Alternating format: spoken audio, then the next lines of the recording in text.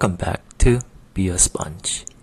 In this activity, we're going to discuss code or blocks, you could say it, because there are block shape in the code.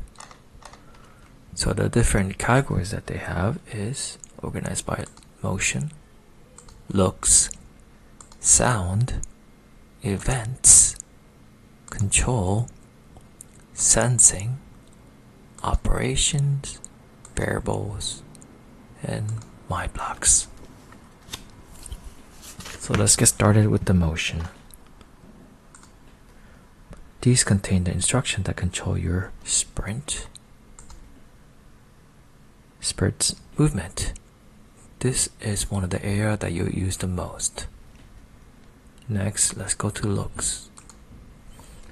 Looks is another area, another many blocks that use a lot too.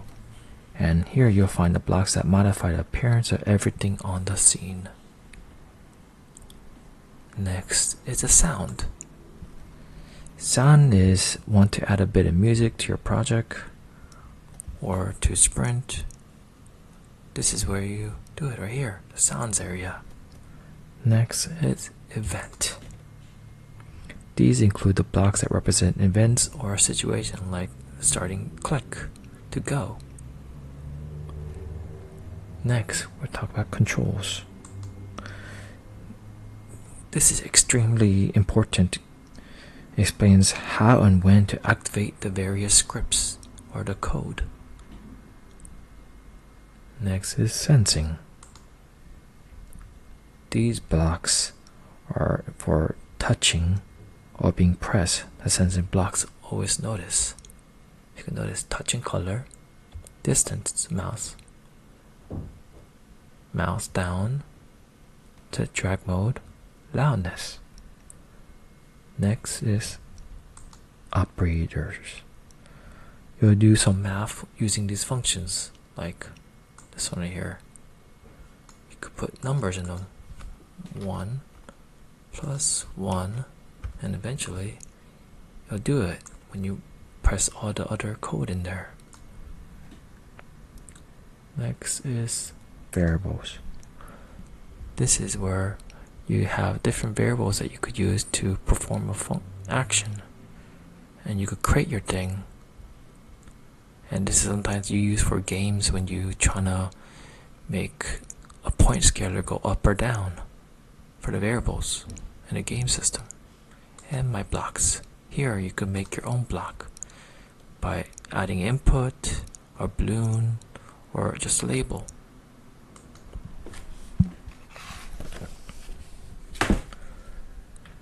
A little specific now. This block right here is called a hat block and always placed at start of the script or the code area. Nothing can be placed above the hat block.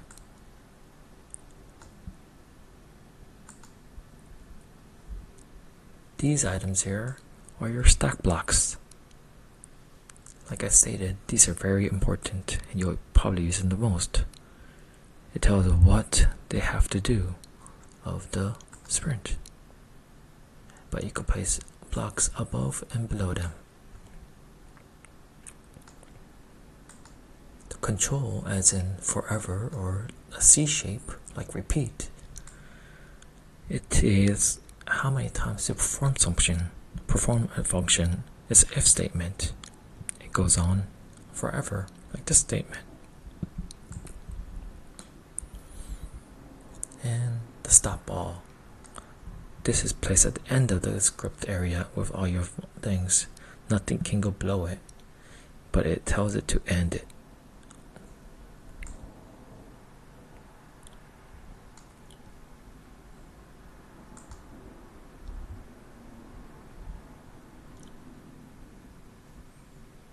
Here is a report block. These block around the edges and give you different type of values, for example, numbers or words.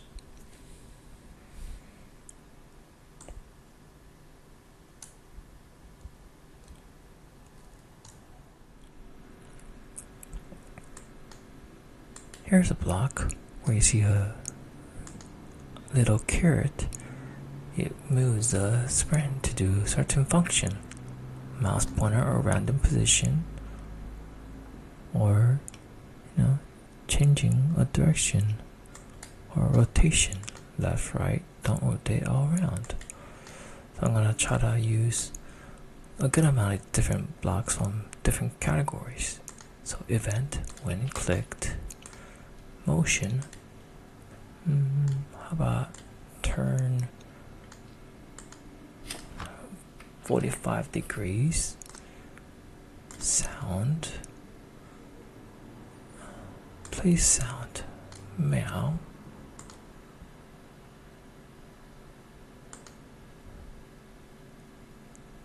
I don't remember doing this one, so. Hmm. How about hide? Event. I did event already, so control. So wait. Three seconds. And yes what's your name? And wait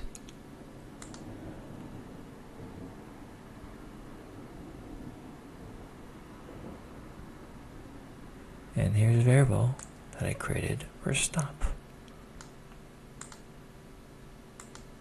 The value go to back to zero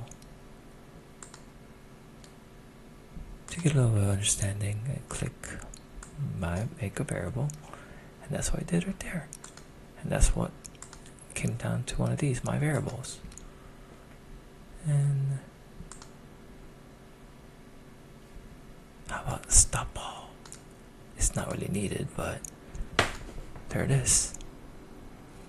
The other functions like operator or sensing or operator really. You know I've used it in other projects where you can see how it works. Or you're creating your own project